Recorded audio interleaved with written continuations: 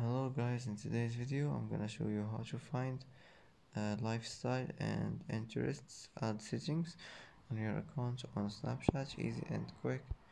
First after you click on your profile icon, click on the settings icon here. And now uh, you will find the ads, click on it. And here you will find uh, as you see lifestyle and interests and that's how to find lifestyle and and, and interest uh, ad settings on your account on snapchat easy and quick.